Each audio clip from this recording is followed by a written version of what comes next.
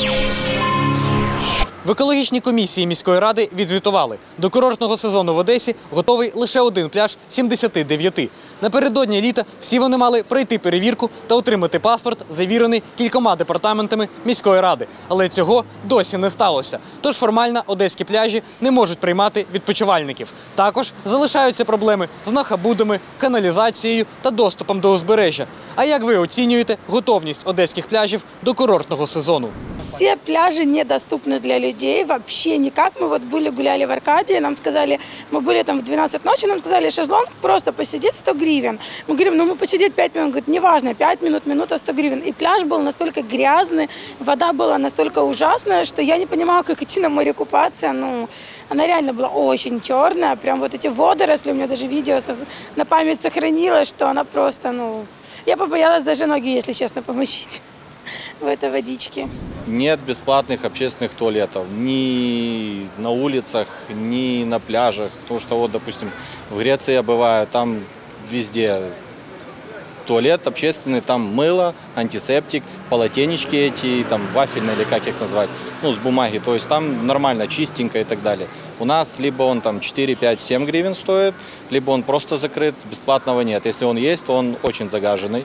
На пляжах э, в основном со всех заведений проходят трубы через песок, через пляж. Когда дождь, эта вся кака выходит на песок, на поверхность. Э, Ну и самого пляжа уже все меньше и меньше, потому что летние площадки, террасы делают, там эти, не поставишь нормально подстилку, потому что везде шезлонг. Мне нравится, что они стали намного уже, мне нравится, что они очень грязные. Я, по сути, хожу на Одесский пляж, может быть, раза два в году максимум из-за этого. Большое количество людей, большое количество мусора, большое количество водорослей в к воде и так далее. Очень грязно, очень неуютно, неприятно. В прошлом году было лучше, сейчас сделали там немножко меньше зону для простых людей, вот, где дельфинарий. Там немножко забрали кусок.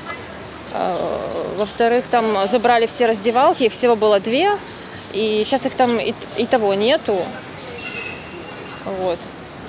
Просто оттесняют людей от обычных пляжей. Детским пляжем мне, ну, вода, что, вода, вода, водой, это природа. Ну, а пляжи, да, чистить надо чаще, потому что очень много, процентов 70 из 100 пляжей, которые платные, они не стоят своего, потому что там ракушки везде и песок грязный. Ну, они всегда грязные. Э, Одесситы, говорят, не хотят на, на- у себя на пляжах. Ездят в Египет, в Турцию. Э, Ездят, приезжают сюда приезжие из расчета, что здесь все чисто, красиво, хорошо. А тут всегда грязно на пляжах. Это, ну, как бы, всегда так, пока. Ну, плохо убирают. Я не знаю, ну, платные есть там, может быть. Но я не видел, чтобы там песочек, так, знаете, просеяли реально, чтобы не было окурка. Все равно, даже на частных все равно грязно. По сравнить, сравнение с, ну, там, Египет, Турция, ну, такое. За те же деньги примерно. Вот я сама коренная одесситка, но я уже три года не была на наших пляжах. Почему? Потому что, ну, во-первых, э, их просто нету бесплатных.